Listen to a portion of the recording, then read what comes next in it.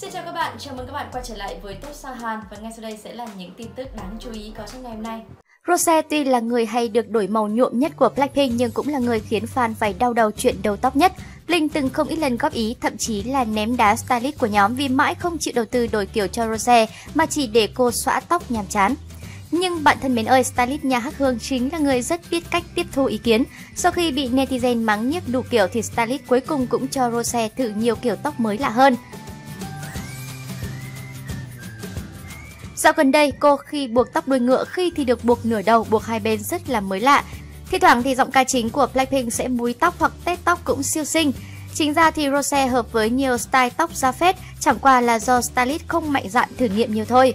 Bên cạnh việc tạo kiểu thì khi Rose xõa tóc, stylist cũng chăm cho cô dùng phụ kiện như mũ nồi, bơm tóc, kẹp nơ để thêm phần mới mẻ chứ không quá đơn điệu. Chúng mình là Tốt Sa Hàn và bạn đừng quên like, share cũng như subscribe để cập nhật những tin tức mới nhất có trong ngày nhé. Xin chào và hẹn gặp lại.